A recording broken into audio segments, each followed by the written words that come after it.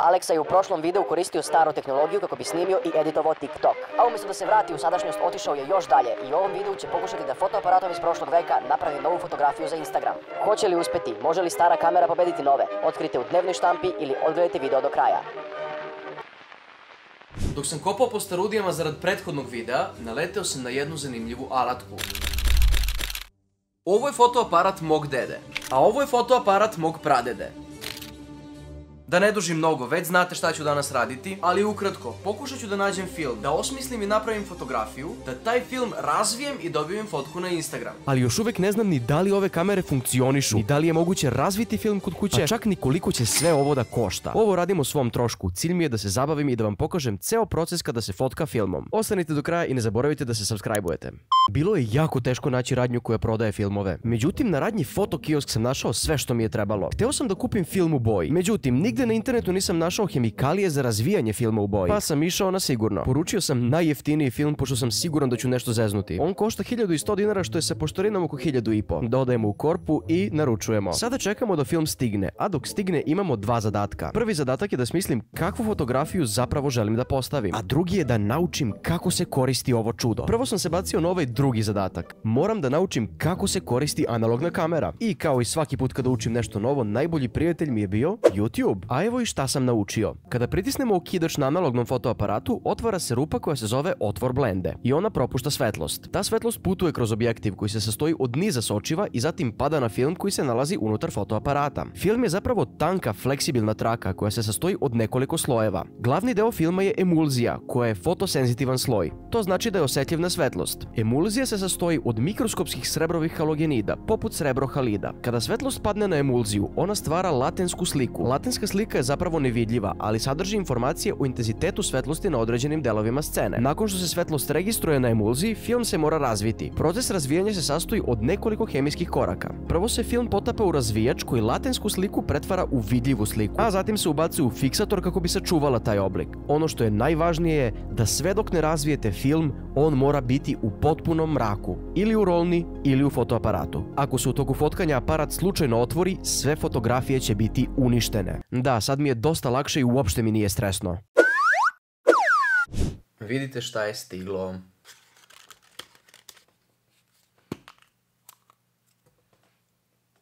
Sad, sve što znam je da ne smijem da razmotam ovu traku i da kada ubacim u fotoaparat da nema vađenja dok sve ne slikam i onda poslije moram da namotam to ovako i tek onda mogu da izvadim i da razvijam film. Ne ulazi, razvijam film.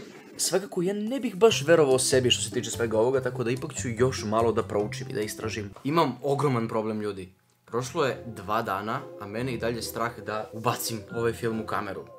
Ne znam zašto, strah me da ću nešto da s***em, strah me da će ceo film da padne u propast. Već nekoliko dana zapravo čitam i učim o ovim kamerama, ovom filmu. I najgore što može da se desi je da ceo film propadne. E sad, da li sam ja toliki baksuz? Možda jesam, moguće ali sam odlučio da je vredno toga i da nema veze čak i da se jebe ceo film. Kupit ću novi, snimit ću ovaj video. To je samo hiljadu i po dinara. Jeste li spremni da ubacimo ovo? Znači, prva stvar koju treba da uradite jeste da otvorite kameru, naravno. Pustimo ovo dole i podignemo poklopac. Uzmemo film i ovaj deo koji ide gore, ovo, ovo, to tu, u, to tu upada, tako, tu. Ovo što se gore vrti, to uhvatimo ovako i podignemo.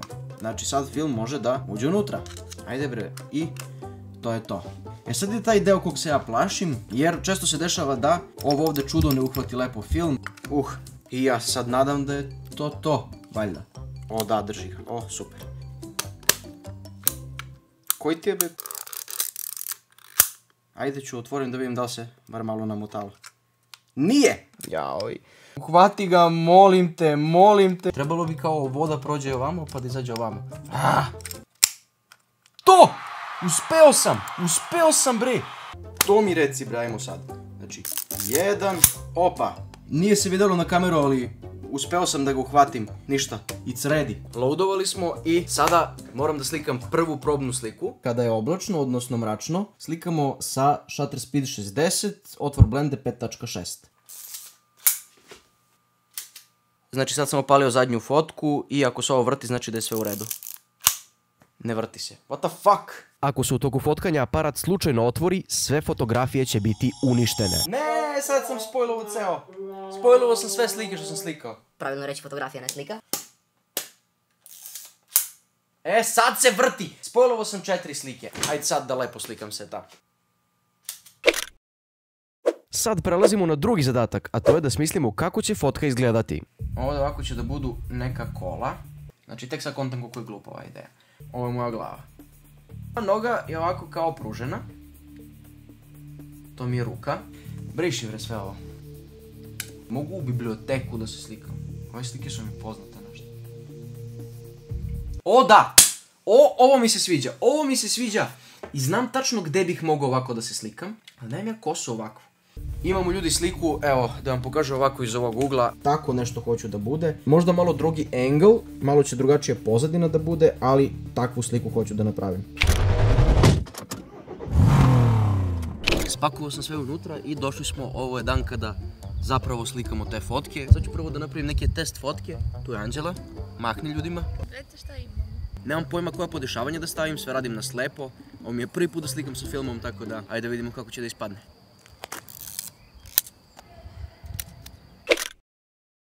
Još jedno. Sad ću Anđeli da pojasnim uh, kako da koristi ovu kameru i sad će ona da proba da slika mene. Znači ovako. Stvari.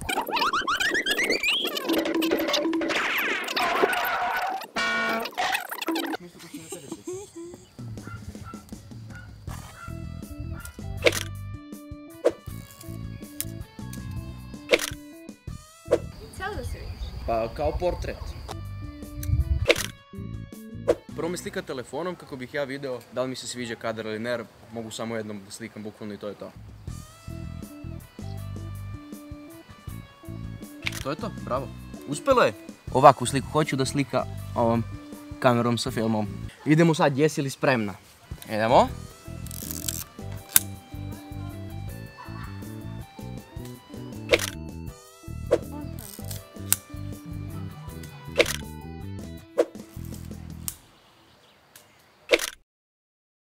Ljudi, to je to.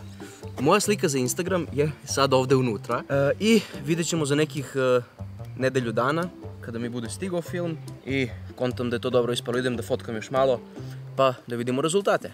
Znači vidite ovo gore, rasklopite ga, izgleda ovako. Samo stisnite s druge strane ovo ispod i namotavate u tom smeru. Kada osjetite da više nema otpora, otvorite fotoaparat, podignete ovo gore, op, i film sam ispadne. Film je popunjen. Nadam se da je većina slika dobro ispala, ali najbitnije mi je da je ona za Instagram ispala jer to je i poenta ovog videa. Sad ovaj film mora da ide na proces razvijanja. Imao sam ogromnu želju da sam kod kuće razvijem film. Zato sam pretražio po internetu koliko bi me koštala sva oprema. I slušajte ovo. Sveukupno bi mi izašlo oko 7500 dinara. Apsolutno nemam namjeru da dajem tolike pare kako bih razvio slike koje možda i nisu dobro ispale, ali zato sam našao ovo. Ista ova firma gdje sam kupio film ima i uslugu razvijanja filma. I to košta 690 dinara. Hteo sam sve sam da radim, da ceo proces prođem sam, međutim nemoguće, eventualno preskupo. Nekad kada budem mogao da priuštim toliko investiciju za jedan video, naravno da ću ulagati, ali sad je ovo besmisleno. Pa da vidimo šta će da se desi. Evo, ovdje sam spakovao film, pa ko još šalje poštom?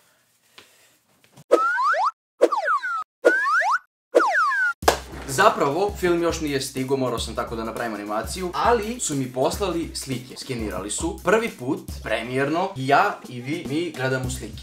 Prva slika je moj setup. Naredna slika je moja soba. Mutno je, što me iskreno brine. Zato što ako tu nisam pogodio fokus, to vjerojatno znači da nigde nisam pogodio fokus. Ovdje sam slikao samog sebe, ovo je selfie, crno-beli selfie. Ovo zapravo nije toliko loše. Ovo, onda je ona mene slikala.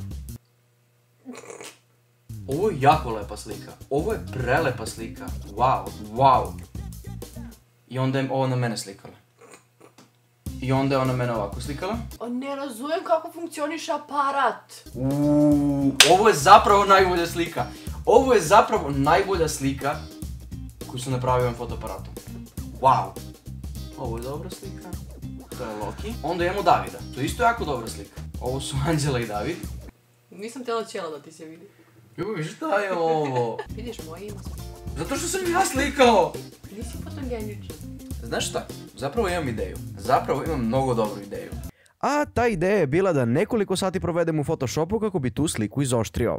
Dobra ideja. Sjećate se kad sam na početku videa rekao kako neću stavljati crno-bele slike. Jer film u boji je i skuplji i mnogo je komplikovaniji proces razvijanja, zato i skuplji. Tako da sam pravio crno-bele slike, a sada ćemo da ih obojimo. Iako postoji mogućnost da se ista stvar napravi i u Photoshopu, ova veštačka inteligencija je mnogo bolja. Sajt se zove palette.fm. Sve što treba je da uzmete vašu fotografiju, prevučete je na sajt i čekate da AI odradi svoj posao. Ovo je kao basic color paleta, a sad ću da učitam sve moguće opcije pa da vidimo kako će da ispadne. Ovo je basic i koliko vidim zapravo je dosta dobar posao odradilo. Prelepo izgleda i sada šta radimo? Imate opciju da preuzmete besplatno i kao HD, ali se to plaća. Znači, vi jednostavno skinete ovu besplatnu verziju i kada ste skinuli, samo u Photoshopu ubacite preko ove originalne slike, stavite filter, color i to je to. Imate pun kvalitet, a niste ništa platili. Mi Balkanci baš volimo besplatne stvari.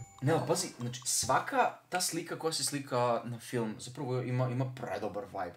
Ne zaboravite da kliknite to crveno dugme subscribe zato što naredni video će biti skroz drugačijeg formata, bit će malo jeziv, u pitanju je horror tema, ali gledan iz naučnog aspekta, zaledit će vam se krv u žilama. Znaš da, da dobro fotografiš. Nismo. Ti si fotograf, ti si ovo fotografi. E, on meni podesi sve na kameri. Znači i fokus i sve što treba da ne lupam. Ja samo kliknem. I moje je bilo, daj mi, moje je bilo da uradim ovo. I vreme je da objavim moju sliku na Instagram. I namjerno je neću pokazati ovdje. Želim da odete na moj Instagram i da u komentaru slike napišete kako vam se čini kvalitet. Ne zaboravite da podržite ovaj video i očekujte uskoro nove i još kvalitetnije videe. Pozdrav!